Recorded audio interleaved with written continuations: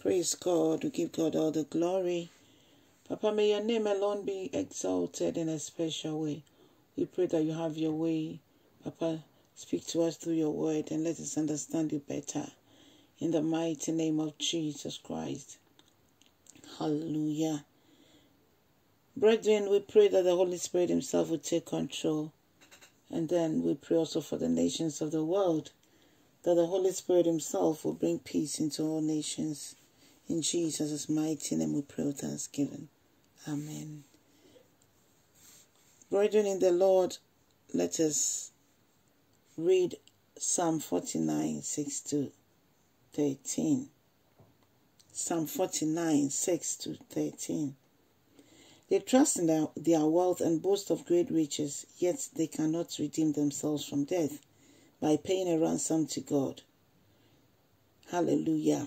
So, money cannot take away death, and no one can pay God for a ransom. Hallelujah. He's God all by himself. He's God all by himself. And he continues to say that yet they cannot re- redeem themselves from death by paying a ransom to God.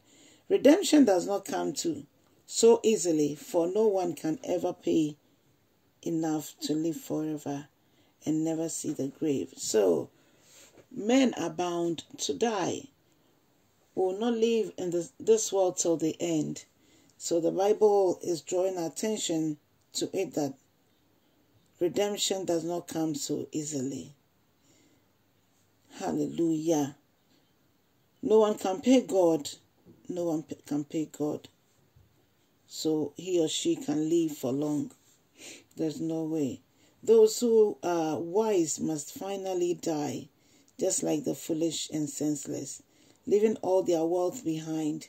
The grave is their eternal home, where they will stay forever. They may name their estates after themselves, but their fame will not last. They will die just like animals. This is the fate of fools, though they are remembered as being wise. Hallelujah. So we see here that all the things that we are busily struggling for, busily looking for in life, will definitely leave them behind one day. And the Bible is telling us that no one can bribe God to live forever or to live for long. God is God by himself. And so he says that if we are not wise, we'll also, it says, sorry, it says that even the wise and the foolish will all be in the grave. Hallelujah. And so we need to be very careful the way we do our things. We have to please the Lord so that the Lord Himself will protect us. The Lord Himself will guide us. The Lord Himself will take us from any trap of the enemy that will bring death into our lives. Premature death. We cancel in the mighty name of Jesus Christ. And we pray, Spirit of God, that you take absolute control. Have your way. Speak to us and then fight for us. Hallelujah. Brethren in the Lord, the Lord will never, never leave us nor forsake us, so we also need to sit under his feet, just as Mary did.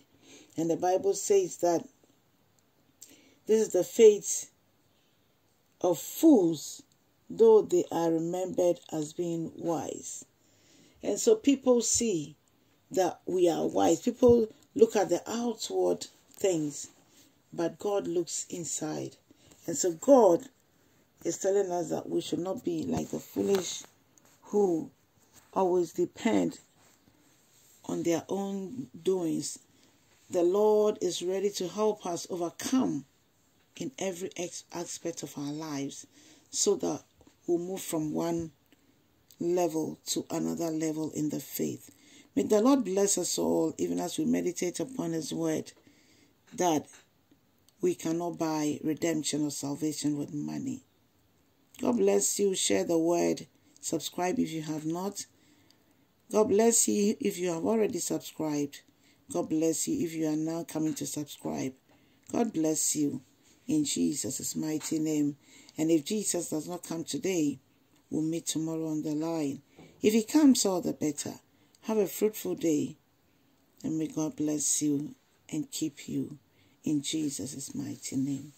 Amen and amen.